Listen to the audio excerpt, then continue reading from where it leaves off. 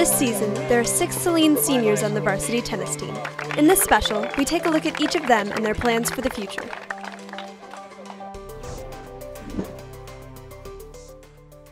So I've been playing since I was seven, so it's quite a long time. And you know, my dad just started feeding balls to me I was a little kid.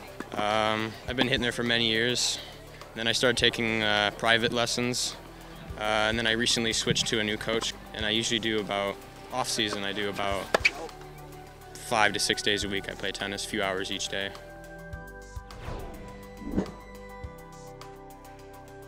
Uh, I've been playing tennis since sixth grade. Tennis has taught me to never give up. Uh, even when you're down 5-0, you can still come back and win it. Uh, I plan on going to the University of Michigan. I'll probably still play tennis there. I'm going to try majoring in computer engineering.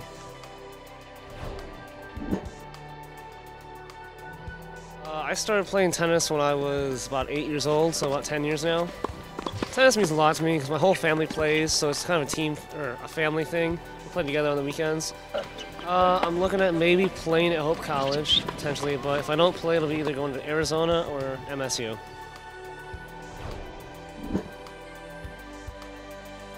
Uh, I've been playing tennis for about eight, nine years.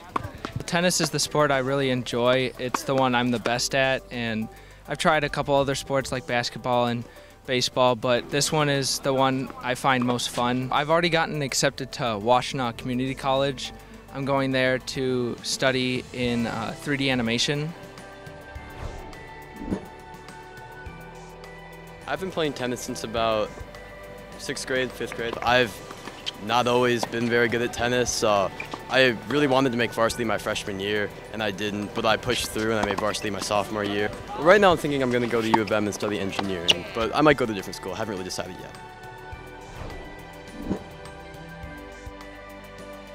Tennis is the most important sport I play. It's pretty much the most important thing I do right now in my life. I, I like it a lot more than anything else I do. I plan to go to University of Toledo for engineering, but I definitely want to play. On, I want to play tennis there. I want to get on the tennis team if I can.